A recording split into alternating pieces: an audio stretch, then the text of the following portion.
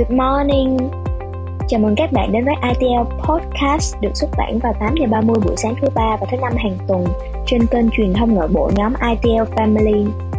Hãy cùng ITL tìm hiểu về những nguyên tắc giúp bạn đã thông tư tưởng, luôn tích cực và dồi dào cảm hứng làm việc tích cực và có được sự nghiệp viên mãn. Mỗi ngày đi làm là một ngày vui trong chủ đề podcast ngày hôm nay nhé.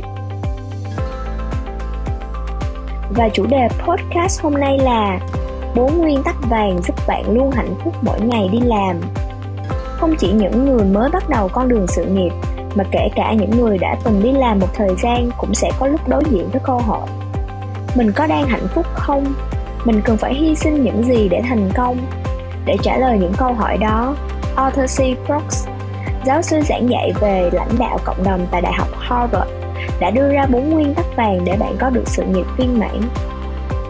Nguyên tắc 1 bản thân công việc là phần thưởng. Một trong những sai lầm lớn nhất mà nhiều người mắc phải là coi công việc như một phương tiện để đạt được mục đích.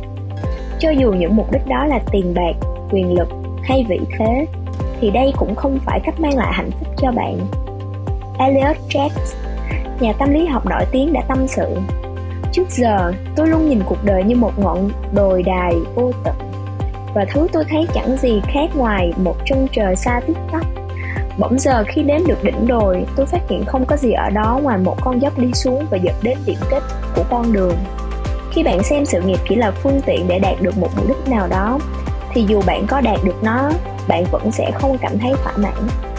Hãy suy nghĩ khác đi, dù công việc không phải lúc nào cũng mang lại cho bạn niềm vui và sự mãn nguyện, nhưng nếu đặt ra mục tiêu đúng đắn, như hái thành công của chính mình hay phục vụ lợi ích cho cộng đồng bạn đã có thể xem bản thân công việc như một món quà tuyệt vời. Nguyên tắc 2 Tìm công việc thú vị thay vì vui vẻ. Hẳn bạn đã từng ít nhất một lần nghe ai đó khuyên rằng, Hãy đi tìm mục đích trong những điều mình làm, Nhưng đồng thời cũng nghe, Hãy làm công việc yêu thích và bạn không phải làm việc một ngày nào. Vậy đâu mới là lời khuyên đúng? Tìm một công việc có ý nghĩa hay một công việc vui? Một nhóm các học giả người Mỹ và Đức đã khảo sát 1.357 người để so sánh sự hài lòng trong công việc của họ khi làm việc với mục tiêu tìm niềm vui và mục tiêu tìm kiếm ý nghĩa. Chủ đề này đã được tác giả Edward Deci đã nhắc đến trong nghiên cứu về hạnh phúc của mình. Theo đó, chúng ta có hai loại hạnh phúc được hình thành từ khoái lạc và sống có ý nghĩa thực tế đã chứng minh chúng ta cần có cả hai loại này.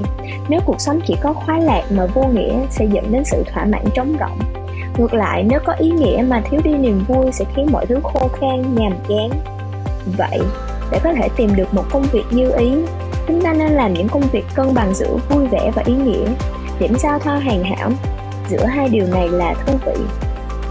Nguyên tắc 3 sự nghiệp không nhất thiết phải đi theo đường thẳng các học giả tại Đại học Nam California đã nghiên cứu và đưa ra bốn loại mô hình sự nghiệp. Sự nghiệp tuyến tính, nghĩa là sự nghiệp phát triển tỉnh tiến theo đường thẳng. Việc này được xây dựng dựa trên việc kia. Khái niệm nấc thang trong doanh nghiệp cũng thể hiện sự nghiệp tuyến tính.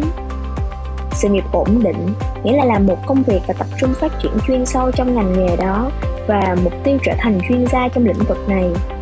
Sự nghiệp tạm thời là nhảy việc liên tục thậm chí nhảy từ lĩnh vực này sang lĩnh vực khác nhằm tìm kiếm những thử thách mới.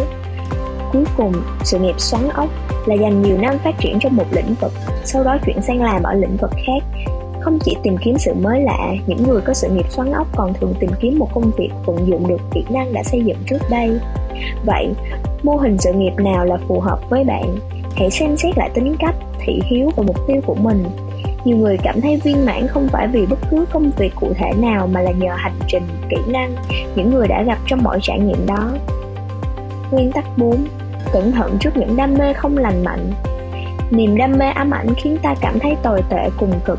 Còn các mối quan hệ lành mạnh tạo ra niềm đam mê hài hòa, mang lại hạnh phúc và mong muốn cùng nhau cải thiện. Quy tắc này tinh chỉnh là nguyên tắc 3 hãy đi tìm điều khiến bạn thích thú nhưng hãy nghĩ sâu hơn và đặt những câu hỏi.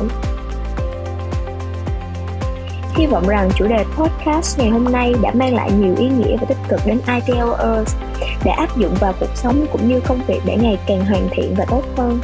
Hãy lắng nghe, suy nghiệm và để lại comment để chia sẻ cảm xúc hoặc bất kỳ góp ý nào của bạn đóng góp cho chương trình nhé. Hẹn gặp lại các ITLers trong chủ đề podcast tiếp theo. Bye!